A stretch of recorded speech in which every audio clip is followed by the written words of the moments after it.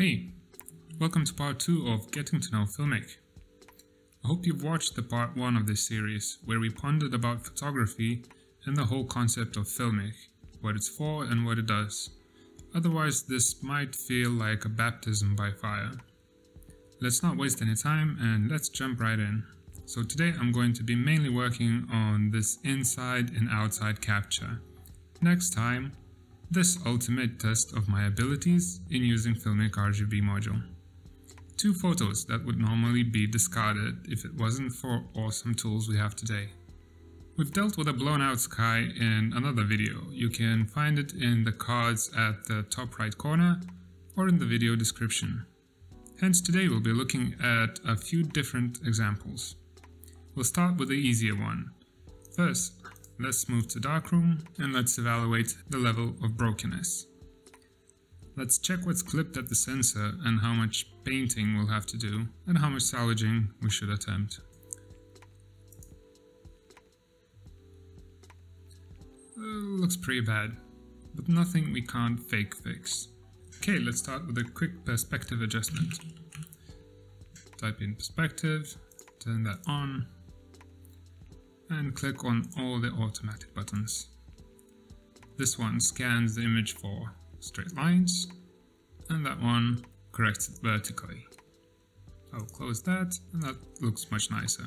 We're no longer feeling like ants. Next up, I'll adjust the temperature a little bit as I can feel that the photo is slightly bluish, especially at the bottom here. I'll just increase this until we're happy. Okay, that looks about right. Let's use the color assessment mode. Okay, I'm pretty happy with that. It's a bit on the warmer side, but it was a really warm day, so I might want to convey that with my image. Next up, I'll adjust the exposure just a tiny bit. I feel like the image is a bit too bright Knowing that this is a shadow area away from the sun, I might want to make it a little bit darker.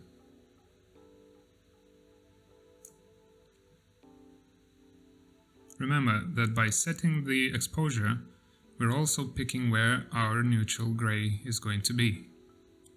Now we can open Filmic, something that will actually fix some of the issues with the photo. I'm going to be using Filmic V6, which is going to reach the mainstream darktable pretty soon, just so the video doesn't become obsolete a week in. I will set the preserve chrominance to no for this video. This might ruin our RGB ratios, but it's usually less noticeable than the artifacts that the other preservation methods create. That's my experience, at least. Right, on to Filmic. I'm gonna use that auto-tune levels which did a pretty good job. I would like to adjust the contrast just a little bit. Notice how this straight line rotates around this orange dot, which is our neutral gray point that we sort of set in the exposure module. I'll move the slider to the right and watch the straight line rotate. Okay, that's a bit too much. I'll dial it back a bit. That looks about right. We'll reduce the latitude a bit so we get some nicer transitions. Okay, I'm pretty happy with that. Now we can switch to Reconstruct tab. First, we need to select the areas that we want to reconstruct. We can do that by enabling the mask preview. Right now, nothing is selected, so the Reconstruct tab is basically disabled. I will start walking back the threshold slider until we get white where there was significant overexposure.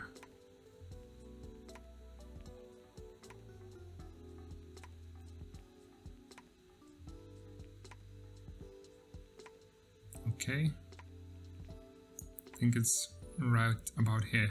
Then, using the transition slider, I can sort of feather my selection. Usually, adjusting the transition until I can vaguely see the rest of the image works best from my experience. Like that. Okay, we can disable the mask. That got rid of a little bit of pink we had before, which means we're doing something right.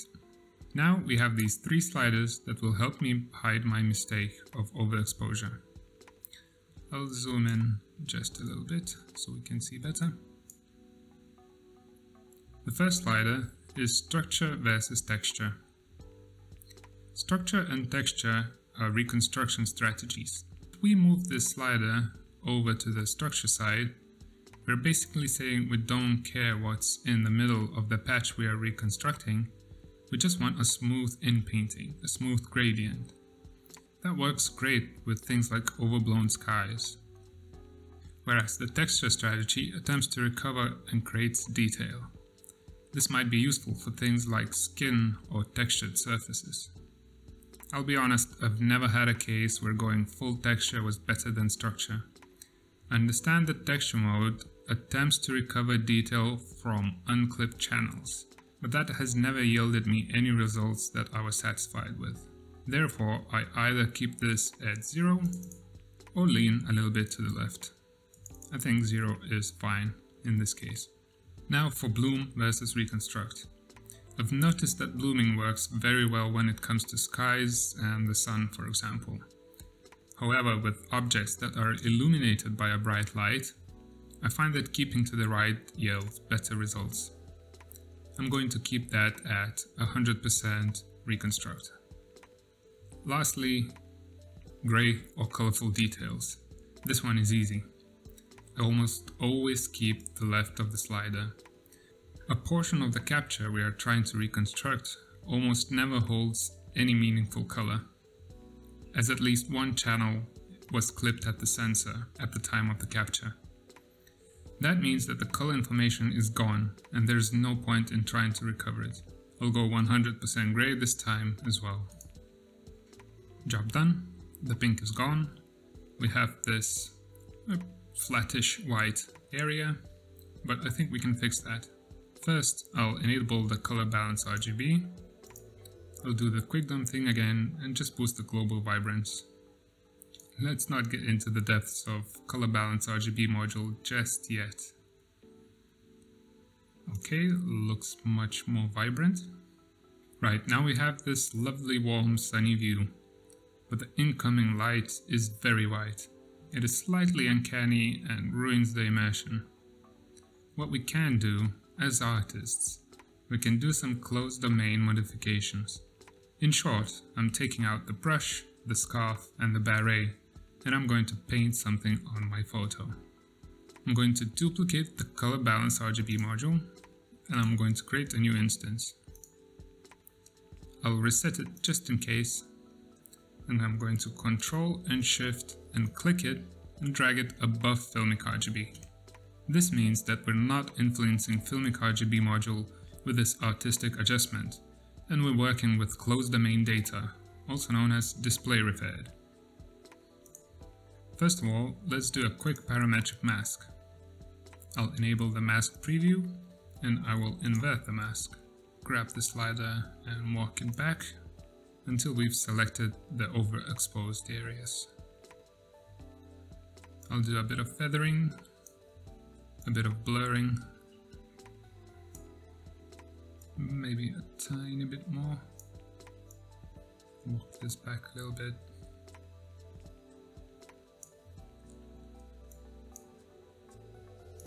Yeah, I think that is okay. That will do the job. I can disable the mask preview and I'm going to go straight to the four-ways and I'm going to change the hue of the highlights gain. I'm going to change it to something warm-ish. Now what I need to do is increase the chroma just a tiny tiny little bit. Let's not overdo it and turn it into sepia. Just a little bit, so it feels warmer. Okay, we can enable color assessment mode to help us judge. Okay, that's a bit too orangey.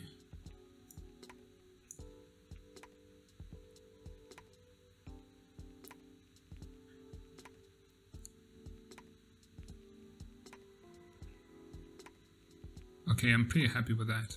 I think that did it. I think we managed to salvage it. From an image that was about to be discarded to something that we can actually use. I'm happy with the result, even though we only mainly touched a few modules. The color balance RGB, filmic RGB, exposure, color calibration, oh, and perspective. And that's about it. In reality, I would keep working on this image until I'm fully happy. But for the purposes of this video, I think it's more than acceptable. Next time, we'll be looking at an even more complex problem. Saturated colors in broken highlights. But that's going to be it for the part 2 of the deep dive into Filmic RGB. Hope you learned something new today. I'll see you soon.